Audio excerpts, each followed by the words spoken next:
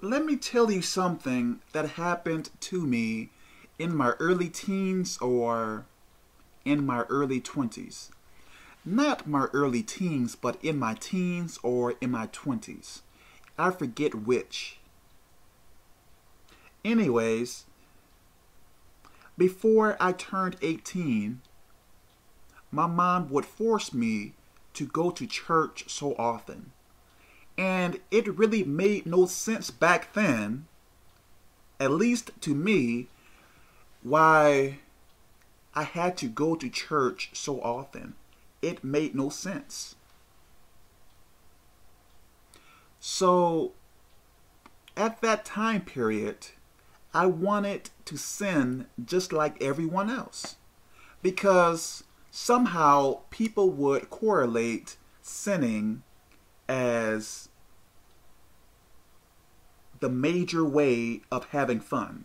Like, you are not having fun unless you are sinning. So, that pushed me to want to sin as well because hey, as a kid, you want to sin. I mean, you want to have fun. So if people are saying that you can have fun by sinning, the first thing that you want to do is sin. So it got to the point where it made me think is there really a God? Like, I was saying within myself, how do we actually know that there is a God? I was saying that within myself. And I forget the time period afterward. I had this dream, and I believe I was telling you all that dreams aren't dreams. Dreams are supernatural experiences. They are not just regular dreams as some people say. So in this dream, my consciousness was the way it is now. As if I was on earth. But in this dream, supernatural experience, I could sense that I was going to hell that instant. And I was feeling terror. I was so afraid. And I started to scream. I was saying, I believe, I believe, I believe, I believe. And I was saying sorry to God. I believe I was crying. I forget. After that, I woke up.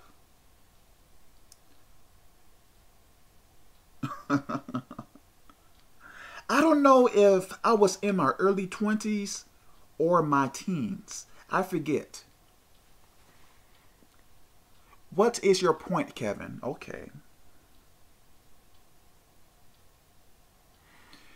If you are in doubt of God now, what you can do is ask God to confirm himself to you. Ask God if he really is real. Ask God to show you a sign or something that he truly exists. This is what you can do because back then, when I was asking if there is really a God, I was in sin. I was not right with God, I don't think. No, I wasn't. Because if I was right with God, why would I ask if God is really real? So ask God to confirm himself to you. And I am sure that he is going to do something.